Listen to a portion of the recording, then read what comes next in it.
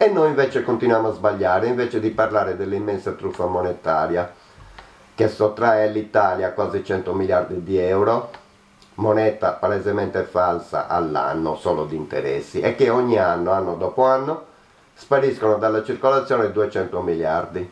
Il che ci sta portando alla disperazione più totale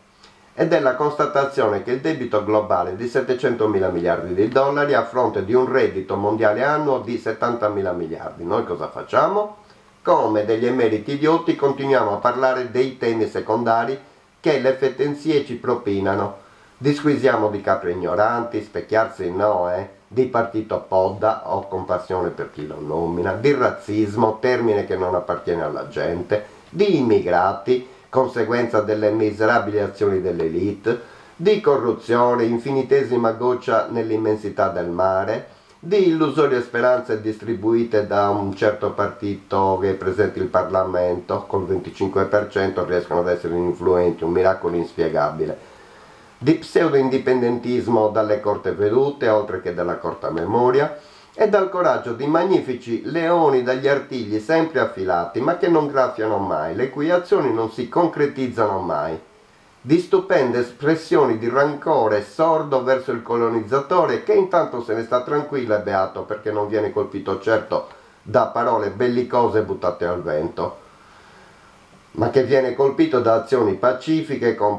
e concrete, di opzioni tipo canton marittimo, da considerare sì, ma Assolutamente sì, ma non da incensare a priori.